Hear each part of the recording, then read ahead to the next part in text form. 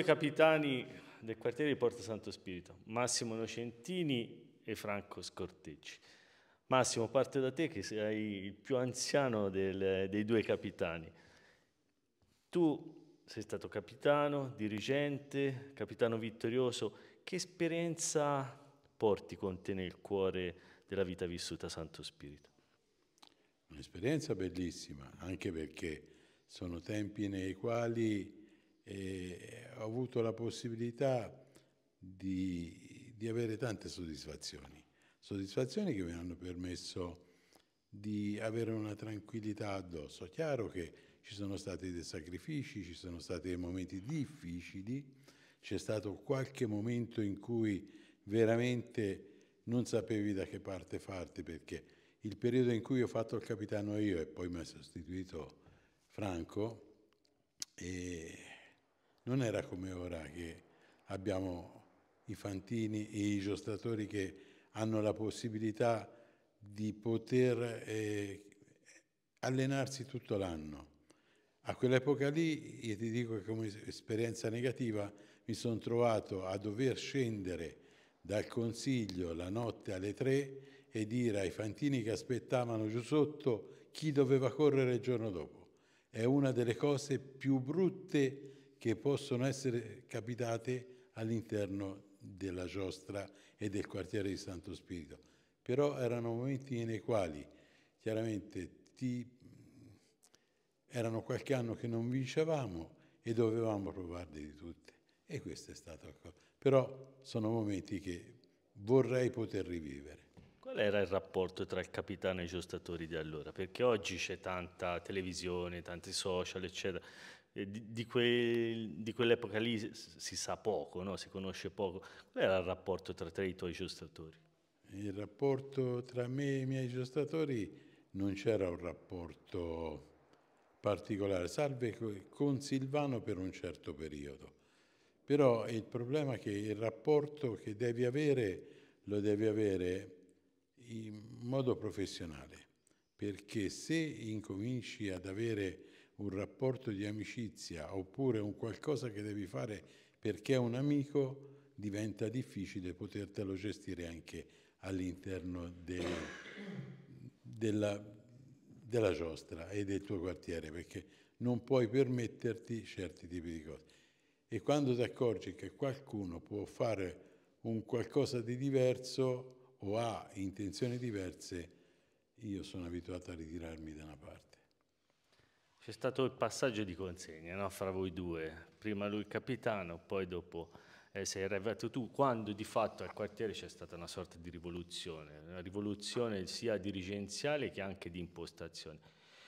Qual era la visione in quel momento per eh, metterci la faccia, andare eh, a ricoprire ruoli importanti come hai poi dopo ricoperto tu da capitano in un momento che non era affatto semplice, anzi forse più complicato della storia del quartiere. Capitano per caso, eh, perché erano veramente momenti bui, in quel momento c'era all'interno del consiglio due anime e mi fu chiesto di assumermi questa responsabilità, cosa che avessi dovuto scegliere non l'avrei mai fatto perché non, non mi risentivo mai in quel ruolo. L'attaccamento al quartiere, mi resi conto che in quel momento mh, forse ero la persona che riusciva a, a stare in mezzo a questi due, questi due mondi che avevano visioni diverse, quindi mi prestai al ruolo senza grossi risultati perché poi arrivai che era già stato tutto deciso, c'era già il contratto con il quartiere verde di Faenza, quindi c'erano già i Fantini, i giocatori sotto contratto, quindi mi ritrovai sbattuto là e in effetti si vide anche nei risultati de, della prima giostra, insomma, che penso di aver battuto tutti i record col doppio zero. Però eh, in quella fase lì, quanto, nonostante, eh, come dicevi tu, di sorta era stato tutto apparecchiato, però quanto è complicato comunque fare il capitano in un momento in cui eh, ti trovi tutto eh, di fronte già deciso e te che comunque vada devi dare la tua impronta. Sì, lì l'impronta c'era da, da, poco, per fortuna c'avevo anche Massimo che mi stette vicino in quella fase cercando di istruirmi, di insegnarmi anche a fare il capitano, perché, ripeto, io avevo fatto da paggetto, l'armigero, per una vita avevo portato cavalli dei giostratori in piazza, perché è sempre stato più, molto più vicino ai cavalli che, che ad altro, quindi mi ritrovai lì, e, ripeto, cercavo di copiare, di assimilare quello che mi veniva passato, eh, passato e trasmesso da chi mi aveva preceduto, cercando di, di, fare il possibile, ma c'era anche poco da scegliere perché si arriva in piazza quando parti con lo zero iniziale, eh, dopo qualunque scelta diventa facile o difficile o quasi inutile. Insomma, quindi. Massimo, te invece hai vinto, sei eh, tornato al quartiere con più di una lancia d'oro. Eh, che sensazione è quella di vincere con quel vestito lì? Sensazione stupenda, tocchi il cielo con un dito, chiaramente sono momenti irripetibili, è un qualcosa che ti segna per tutta la vita perché è chiaro che sei lì. E poi il problema è un altro, che il capitano quando è in piazza è l'unico che può permettersi di parlare col maestro d'armi, è l'unico che può fare un qualcosa o chiedere un qualcosa al maestro d'armi perché c'è dei comportamenti sbagliati. Hai tre secondi per poter reagire. Sono quei momenti che la giostra, parlavo prima con Franco, io durante il periodo in cui ho fatto il capitano non ho mai pranzato prima della giostra perché ero digiuno e dovevo stare digiuno, qualsiasi cosa che mettevo potevo avere delle grosse problematiche che non volevo, perché dovevo e volevo essere presente. Invece tu hai ricoperto anche il ruolo di, ma di magistrato della giostra. Vedere la giostra, vedere il ruolo del capitano, il capitano da eh, la seduta della magistratura in Piazza Grande, com'è? Ma ti posso dire che anche quella è stata un'esperienza bellissima, anche perché eh, io ho fatto sono stato nominato magistrato e tra l'altro molto probabilmente la magistratura aveva un'idea diversa da quella che può avere uno che viene dalla giostra. Chiaramente la magistratura era in quel momento repressiva e io forse sono stato tenuto sotto, sotto osservazione perché venendo da un'esperienza di giostra avendo fatto anche il capitano, avevano paura che avessi dei comportamenti diversi. Poi, dopo, eh, molto probabilmente qualcuno si è ricreduto, perché come magistrato vedi la giostra in un modo diverso, ma puoi insegnare anche agli altri magistrati, vista la tua precedente esperienza, cosa non dover fare per evitare problemi.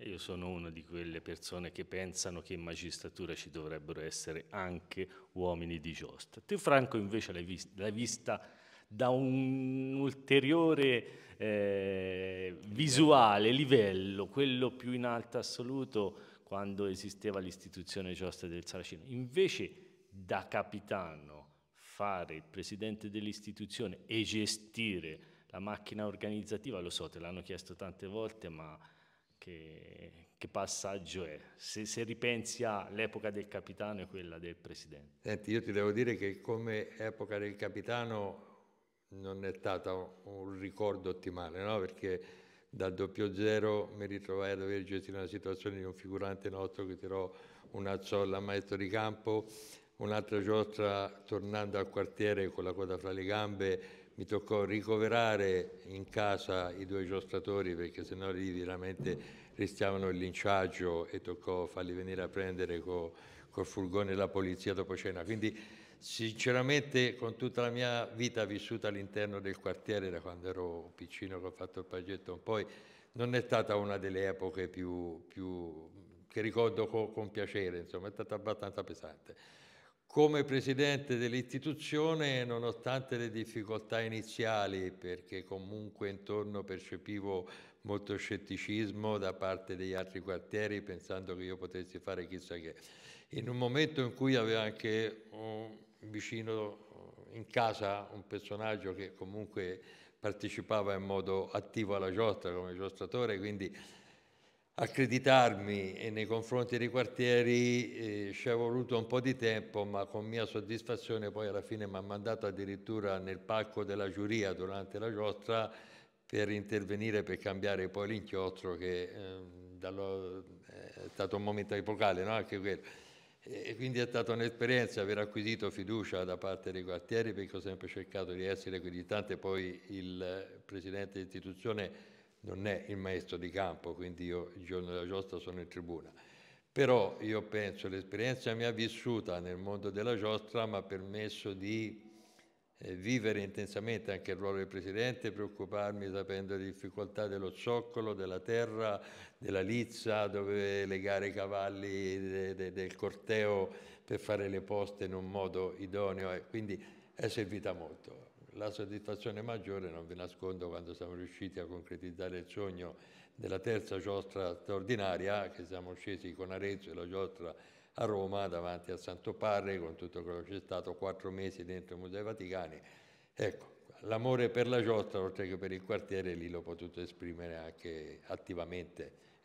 L'ultima battuta te la faccio invece in ambito tecnico, che tu sei comunque un tecnico della giostra, no. un, uomo, un uomo di cavalli. Oggi si parla tanto di professionismo, di allenamenti, tutti i giorni i giostratori si allenano rispetto all'epoca in cui tu eri dirigente che si viveva eh, l'aspetto tecnico in maniera completamente diversa. Ma oggi forse si è arrivati al massimo e si sta esagerando oppure è giusta la direzione? Ma io vedo poi all'interno, per quell'esperienza che io vedo il quartiere dove sono cresciuto, che comunque sì, c'è professionalità, ma è anche un momento importante di aggregazione per, per, per la città, per la giostra. Io lo dico sempre, noi sì, siamo quelli che siamo cresciuti col sogno un giorno di avere i giostratori aretini e oggi ci siamo riusciti sembrava un'utopia. Eh, ipotizzare i campi prova, anche quello è un sogno che è partito da lontano perché anche il quartiere già negli anni 90 iniziò a fare i primi passi per avere una propria struttura, era un sogno. Uh, un sogno uh, che i cavalli fossero del quartiere per eliminare il, il il mercenario, no? quindi era più difficile oggi che il giocatore si possa spostare da un quartiere all'altro perché i cavalli sono del quartiere, quindi il giocatore senza cavalli mm, altri due o tre anni di tempo per ritornare in piazza vincitore. Io ho un altro sogno, sarà un'utopia, ma forse dall'esperienza che ho vissuto in famiglia Oggi i quartieri hanno una propria struttura e hanno proprio dentro le strutture i cavalli in pensione, no? cavalli che ahimè per, a 20 anni secondo me è troppo presto, ma sono ancora cavalli che possono dare tanto. Avere un istruttore e iniziare a fare la scuola di equitazione per i quartieristi. Dieci ragazzi che montano a cavallo, forse quattro vanno a fare gli ostacoli, vanno in campagna, tre smettono, ma se ne esce uno eh, il ruolo del giostratore che nasce da paggetto e arriva a fare il quartierista sicuramente ha un valore aggiunto per ogni quartiere e poi per la città. I sogni di prima si sono avverati, speriamo che anche questo un giorno io possa vedere i miei nipotini per continuare anche questa tradizione di famiglia, salire in sella o quantomeno vestire i colori del quartiere.